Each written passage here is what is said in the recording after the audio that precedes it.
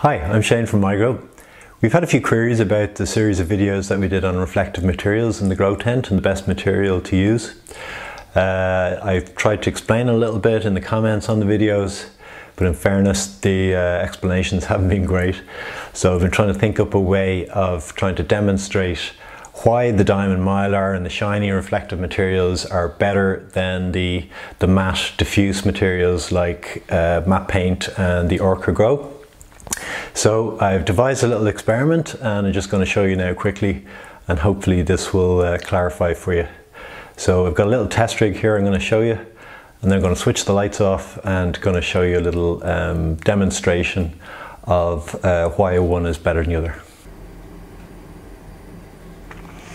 So here we have the setup. We have a, a small lamp with a slit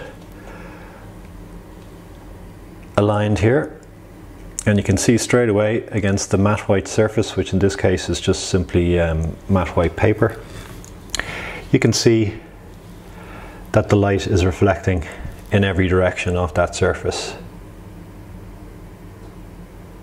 So if we take a measurement we're going to take measurements of how much light is being reflective at three different points with our um, trusty, trusty Apogee SQ500 PAR sensor and we're going to show you the results.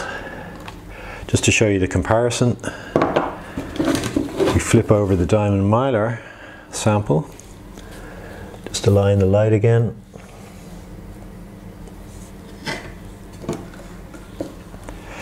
And you can see straight away that the light is coming in this direction and it's reflecting in an arc.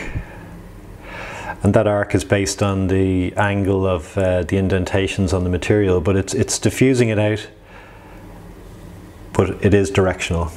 So it's, it's more or less all of the light is going in that direction, which in the grow tent sense will be down onto your grow, which is exactly what we want. So let's hook up the sensors and do the measurements and see what we come up with. So here we are at our test rig, getting everything set up. We've got our light source with the slit to provide us with a beam. So we align that along the 45 degree line and directed at, in this case, we're starting off with the diamond mylar here.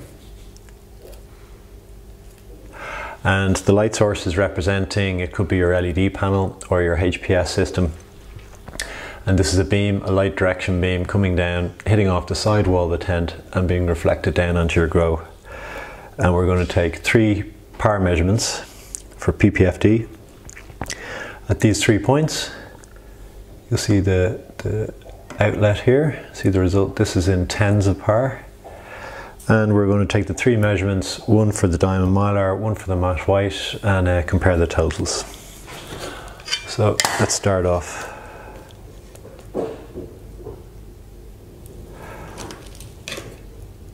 So our first measurement for the diamond mylar is 30. This is in micromoles per meter square per second. It's a PPFD measurement. The second one is 40. And the third one is 30. So total is 100 divided by 3 to get your average, which is 33. So let's flip the sample over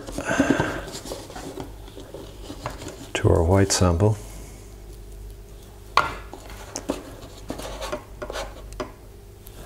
And line everything up.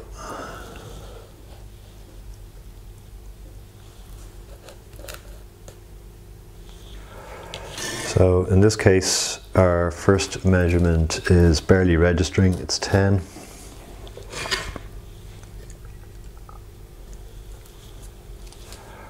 Our second measurement is just hitting 20.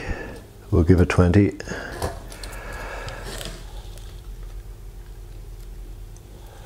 And our third is 10. So not much. Uh, average across the three is 40. Divided by 3 is 13.3. So we have 300%.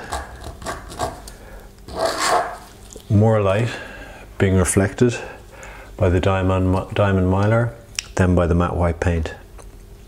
So hopefully this explains it. Hope you liked the video. If you did, please subscribe and take care.